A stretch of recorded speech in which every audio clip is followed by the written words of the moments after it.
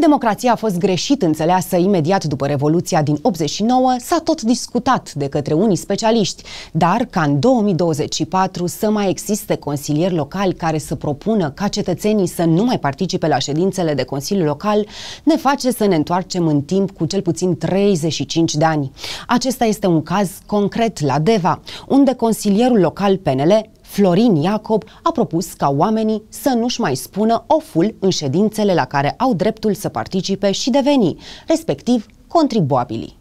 Cetățenii reședinței de județ ar urma să nu mai aibă dreptul de a lua cuvântul la ședințele Consiliului Local decât cu acordul consilierilor locali. Cel puțin asta reiese din propunerea pe care consilierul local liberal Florin Iacob a făcut-o pentru modificarea regulamentului de organizare și funcționare a Consiliului Local Deva. Referitor la proiectul de hotărâre numărul 27 per 2024 pentru modificarea anexei la hotărârea Consiliului Local numărul 269 per 2021 privind aprobarea noului regulament de organizare și funcționarea Consiliului Local al municipiului Deva, supus în transparență în baza legii numărul 52 per 2003, în calitate de consilier local al municipiului Deva, propun modificarea articolului 27 aliniatul 5 din anexă astfel. La lucrările Consiliului Local pot asista și lua cuvântul fără drept de vot prefectul, președintele Consiliului Județean sau reprezentanții ai acestora, deputații și senatorii, miniștrii și ceilalți membri ai guvernului, secretarii și subsecretarii de stat, conducătorii serviciilor publice de concentrate ale ministerelor și ale celorlalte organe centrale, conducătorii compartimentelor de resort și conducătorii organismelor prestatoare de servicii publice sau de utilitate publică din unitatea administrativ-teritorială municipiul Deva, în probleme ce privesc domeniile lor de responsabilitate, precum și alte persoane interesate cu acordul majorității simple a consilierilor locali prezenți la ședință. Se arată în documentul oficial semnat de către consilierul liberal Florin Iacob. Pe surse, unii dintre consilierii locali nu sunt de acord cu această modificare, în condițiile în care deja există anumite prevederi legale care să împiedice eventuale escaladări ale unor discuții între contribuabilii de veni și cei de la conducerea administrației locale, iar președintele de ședință ar putea lua măsuri atunci când se impun. Totodată sunt consilieri care au catalogat această propunere făcută de către consilierul liberal ca fiind, citez, inutilă și umilitoare pentru cetățean. Propunerea se va regăsi cel mai probabil pe ordinea de zi a ședinței ordinare din această lună. Se pare că, din democrația câștigată cu sânge în 1989, ceea ce a mai rămas din liberalii de veni în frunte cu primarul Oancea, a înțeles că acum edilul și consilierii îi vor alege pe cetățenii care le plac, nu cetățenii îi aleg pe ei.